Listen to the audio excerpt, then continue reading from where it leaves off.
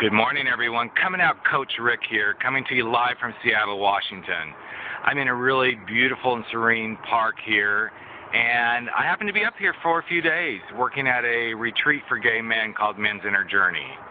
I'm really blessed to get to be a part of this journey this weekend. I actually did the journey myself a few years ago, and I have to tell you, it was a phenomenal experience. It was definitely what I would call a game changer for my life helped me really step into myself and see some of those fears and doubts and anger and just all that stuff that we tend to carry at times as human beings, specifically as gay men. So I just wanted to kind of share something with you today. As I was walking through this park, I got to thinking about what I know these brave and powerful men are about to go through over the weekend, and I really got to thinking about fear. What is fear and why does it come up so often for us as human beings? And as you start your day today, I really want you to think about what does fear mean for you and why does it come up for you?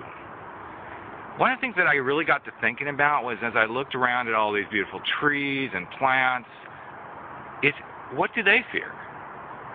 They're breathing organisms just like we are. They take in water, they take in air, they grow, and eventually, yes, some of them die.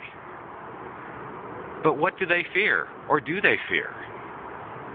And what would it be like if we could be just like nature and maybe not have near the fears we do as human beings?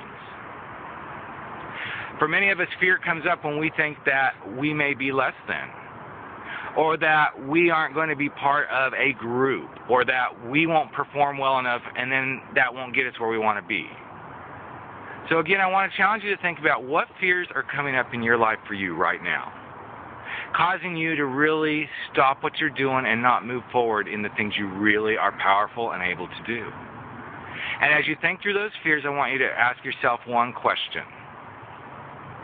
If this fear was no longer an active part of my being, my thinking, and my life, what else might I be capable of doing?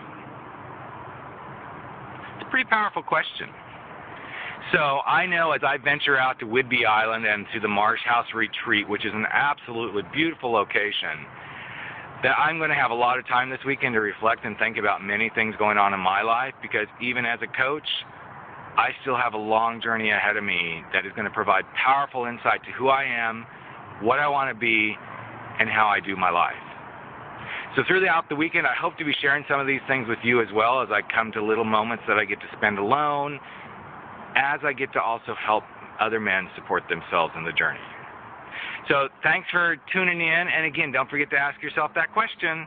What does fear really mean to me and why is it coming up? And what would it be like if this fear was no longer an active part of who I am? So again, live from Seattle, Washington, coming out Coach Rick.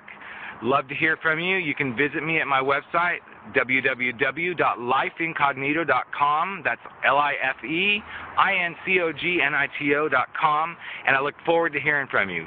Go out and have a powerful day, and always remember to step out, step up, and step in to living your truth. Have a great day, everyone.